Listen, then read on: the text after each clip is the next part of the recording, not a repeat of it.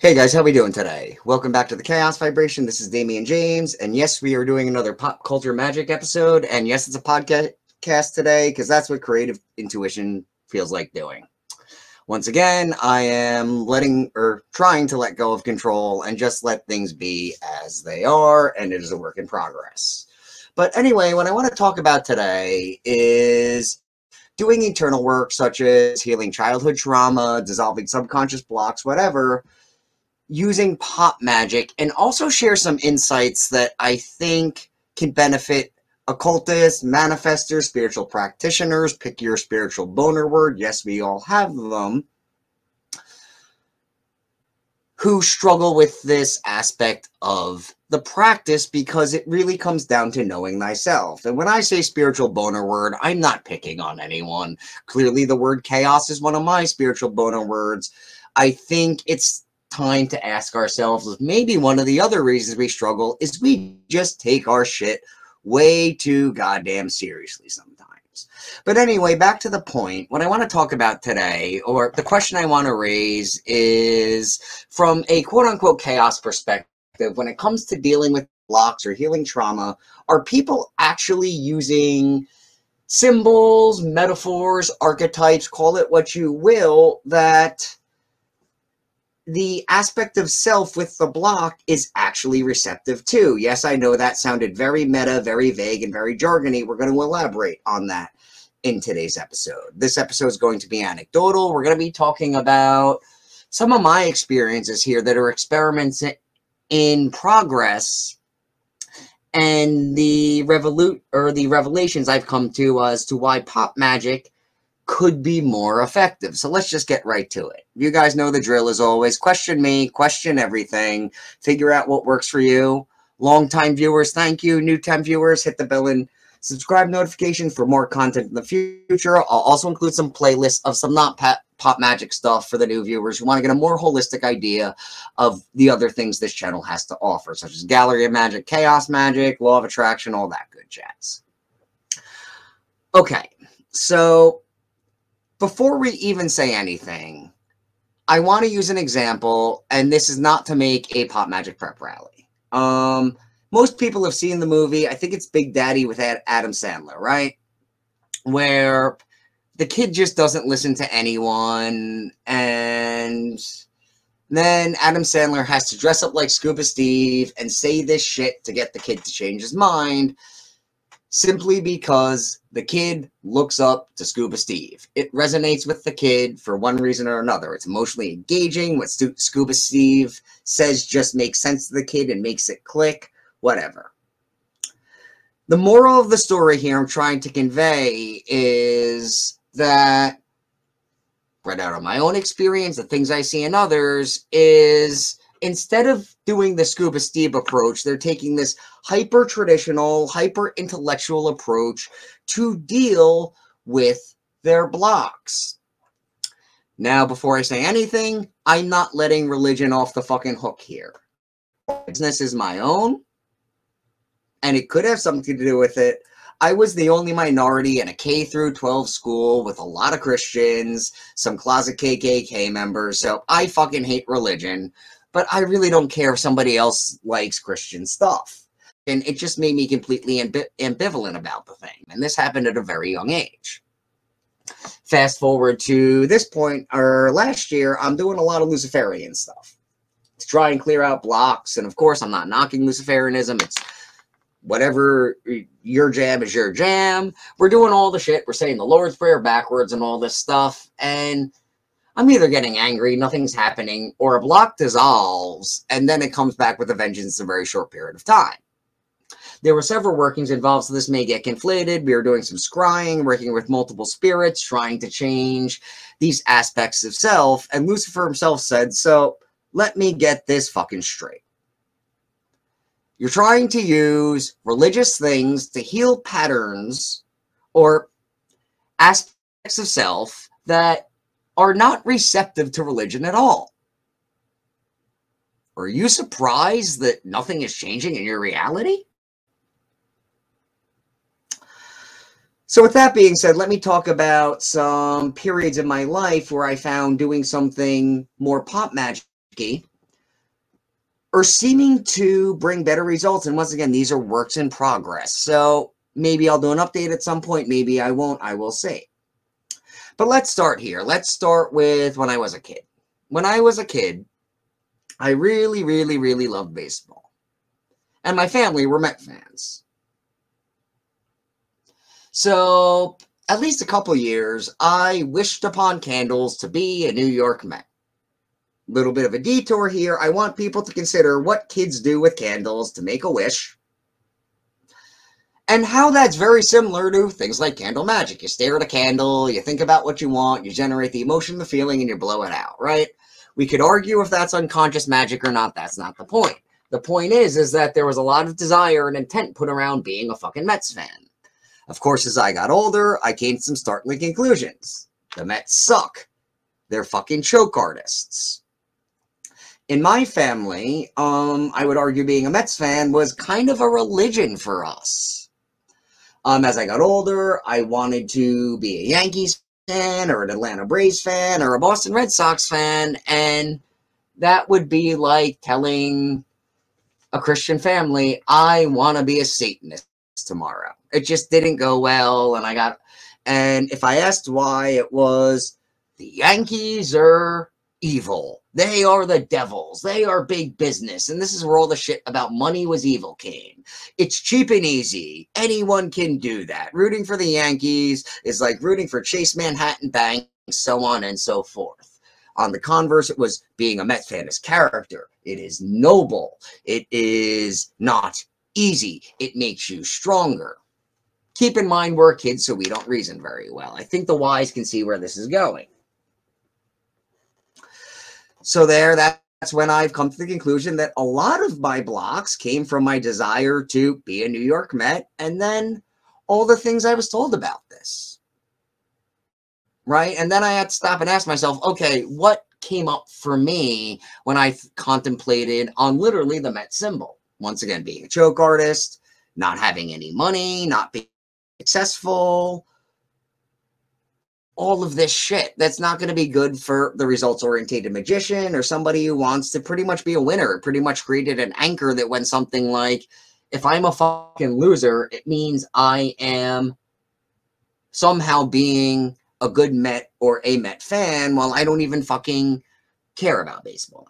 So then we came to a conclusion, and I haven't done this working. I have some have done some divination to suggest it's worth giving it a try. I'm not gonna lie, but I do want to share this shoot while it's off the top of my head um, and ask myself things like, well, what if I did things like instead of saying the Lord's Prayer backwards, which just was jargon, jargon, jargon, empty headed nonsense, knocked out all the vowels of the Met song, rewrote it backwards, repeated that incantation, and then maybe on the full moon ran around the bases 10 times, burned some fucking Met cards of those players, symbolic of me reversing this pattern. And then maybe I ran around a couple times in the proper direction with the Yankees or good players or something that changed my relationship and understanding of success specific, specifically for that six to 10 year old. Worth taking into consideration before we even do the work. And once again, as always, that's a common thing with pop magic is I don't think people are using the right symbols or anchors. Another example from a previous episode is yes, I can use the Master Sword to cast circles or clear space or send energy back at people and people will be like but damien why didn't that work this doesn't work and i need to say well did you spend you know hundreds and hundreds of hours playing Zelda games? Were you a, I'm not bragging, pro gamer who played Link in Super Smash Bros. Melee?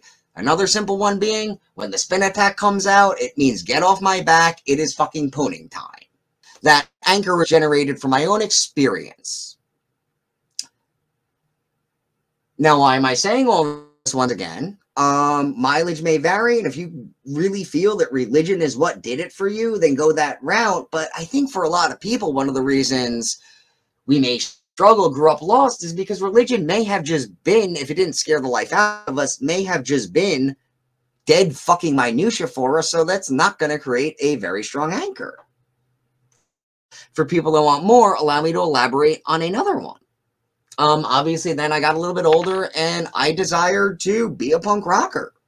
No, I didn't wish on candles, but uh, you know, I hung all the pictures in my room and sang all the songs stoned, you know, drunk in these altered states of consciousness. And I used to say with my finger in the air, I'll have died by the time I was 25 because it means I'll have lived the way I wanted to.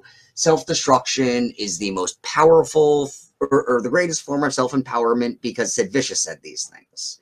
Or another one I used to love to say was um Tyler Durden Fight Club. Uh, what was it?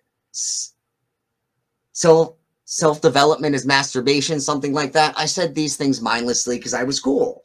You know, um, I wanted to. Part of me wanted to be like these things. Of course, we know the subconscious goes, "Your wish is my fucking command." If and magic takes the path of least resistance. So if you can't be a punk rocker, you'll have experiences that will manifest that. Or, you know, you can't be a New York Met, it will give you experiences that manifest that. Same thing with the Tyler Durden example, and I know that may be more relatable for people. But going back to these, you know, just using punk rock as an example, I, I, I once again, while I love it, had to sit and ask myself, kind of like the Mets, what is punk rock dogma without getting into labels about what it is or isn't, say about success? Generally, it has an underlying belief that goes, if you're successful, you're fucking up. Not selling records is a key to success. And what we do is we over intellectualize and say, well, the Clash were on major labels. And Greg Graffin of Bad Religion was a UCLA philosophy professor. But we also say that the subconscious doesn't do well with intellectual or conceptual ideas. And do we not pick up on how fucking conceptual and intellectual that reasoning is? I'm not saying this is the full case, but at least those aspects of self probably don't give a shit. I was also an atheist once again, so that may be a little bit more subjective, but allow me to illustrate an example. Let's just say, for instance, um, I had a block that kind of desired to be like Sid Vicious or looked like Sid Vicious, right? Do I really think now that I'm going to put Sid Vicious in a triangle and say, hey, Sydney, in the name of Archangel Michael, you shall stop this nonsense. I'm not disrespecting Michael, but I want to raise a practical question here that very simply goes Do we fucking know who Sid Vicious is? He doesn't fucking listen to anybody. And he probably doesn't give a fuck about who Michael is. Once again, as I say with pop magic, are you going to try and command Darth Vader in the name of EAOA, he's not going to give a fuck. He doesn't know who EAOA, EAOA is. You know, so we need to take into account that these aspects of self ask for things, and maybe these are where these blocks are coming from. We always blame the schools and the teachers, and I think that's part of it too. But what about your innocent desires like that? Um, I think a more relative example can be for a lot of people, especially if you were an atheist, it's worth asking if you were like me, you just tuned out Christianity and were playing Game Boy on Sunday, right? But you spent a lot of time watching Disney movies or playing video games that really is like magician are bad people or it doesn't end well for them or they control their shit. You're going to try and do magic now. You may have to take a look at that. I'm not saying you can't watch these things ever, but you, you, know, you you really need to ask yourselves that question. A, a, silly example could be, you know, um, let's say you really love Lord of the Rings like I did as a kid, and you tried to get a magic ring, and now everything you're doing in your magical practice is backfiring or not manifesting at all. What does Lord of the Rings preach about magic rings, especially if you want to be a quote unquote white magician? Or you get a magic ring and you're uh, you're tempted all of a sudden to do what you would consider to do fucked up shit. There's an anchor. If you want to know what anchors are, go back and read read back, go back and read Hands on Chaos Magic. You know, and we could say, well, Gandalf has a magic ring too, but that's going back to the well, the Sex Pistols were on major labels. The subconscious may not care if it made that association and it's deep in the subconscious. You got to do the work there. You've got to look at the shit like that. So, in conclusion, what do we do with this information? Well, the, the way I look at it is try and bring in a relative pop culture median. um, medium here. For example, this is going to sound contradictory. Um, maybe in the Sid Vicious example, you know, work with an archetype like Joe Strummer to say, hey, look, you can be a punk and be successful and still be authentic and still move people, something along those lines. If um you like Disney movies and Lord of the Rings at the same time and thought, oh, wizards and witches are evil. And you're like Gandalf, maybe use Gandalf as a medium there. I'm not going to give you all the recipes here. Do your own work, do your own experiments, and then say to yourself, you know, sorry, lost my train of thought. Oh, look, here's Gandalf. Here's another magician to disprove that claim. Something along those lines, or another Lord of the Rings example, you know, something like use magic swords. They have a lot of more positive properties in that world.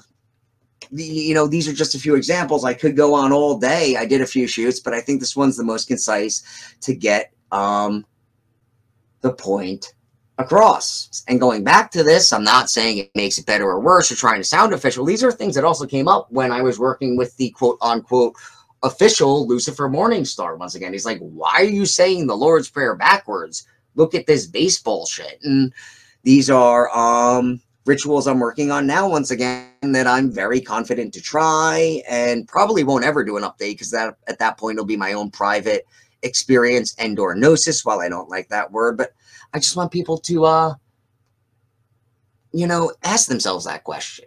Does a seven-year-old self care what a chakra is? Why use it? Not saying don't use it, use it for something else. In conclusion, whether you like pop magic or not, I, well, what I want anyone who's interested to ask themselves are basically, what the fuck was going on in my life when I feel this block developed? What was I paying attention to, positive or negative? You know, if I had a relation, if a girl didn't like me in school, did I cope with that listening to a lot of Fall Out Boy or emo or this shit where, you know, it just affirmed it further? Um, was I maybe listening to rap once again or punk that basically said, hey, being successful is bad? You might have to do some work around that. It, it, it's very simple. And then see once again how you can maybe do something that'll be relative to that aspect of self, a different genre of music or whatever, to not completely obliterate the block, but at least start weaning off it and transitioning it to something new step by step. Maybe work with different musicians, right? Maybe work with, once again, the Joe Strummer, then slowly get away from punk or something else or find a new way to use it entirely. And what my experience does yield, well, I've done with other things like using the ghost trap to banish spirits, because five-year-old me wanted to be a Ghostbuster, right? Um, or working with Robin Hood instead of playing the money's all evil game and saying you love it out of nowhere. Um, what it does seem to appreciate, if nothing else, is even if you don't get the symbols right, it's more receptive to work with you because those acts show I'm taking you into account instead of trying to command you in the name of whatever and state give you all these rules. And the only other point i want to add here is this brought up another thing which is that a lot of us try and do internal work the way our parents parented us. You will think positive. You will be grateful for these things. That's like saying you will go to church on sunday and you will believe this shit some people may like this episode, some may not. Those that are on the fence or those that really want to let this settle in, not for my sake, please play this a few times and take into consideration what I'm saying here. And whether it's pop magic or not, find the symbols that will work for that aspect of self in that time of its life and start creating new anchors or reverse engineering the old. That concludes this video. People that were wise or insightful enough to get it, um, I wish you the best of luck. And once again, when it comes to doing this, you are on your own because only you know what symbols or ideas or experiences have reinforced those beliefs. Take care, everybody. I'll see you on the next shoot. Yes, we do. We'll do more pop magic once again, or we will do more practical magic, the gallery of magic and stuff like that when I feel inspired. Um, but this is where I am right now.